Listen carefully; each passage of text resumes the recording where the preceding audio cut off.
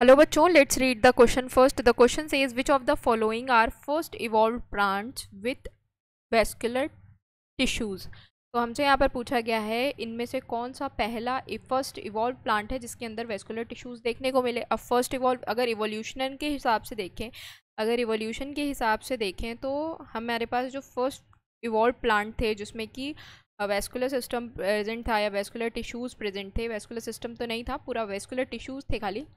तो ये हैं टेरिडोफाइट्स। टेरिडोफाइट्स, इसमें वेस्कुलर टिश्यूज थे जो कि कौन थे? जाइलम था एंड फ्लोएम था। तो ये आपको टेरिडोफाइट्स में देखने को मिलेंगे।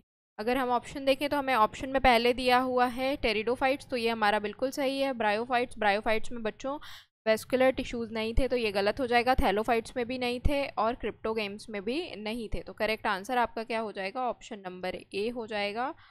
Option number A is your right answer, बच्चों। होप आप लोगों को ये सोल्यूशन समझ में आया हो। Thank you. All the best.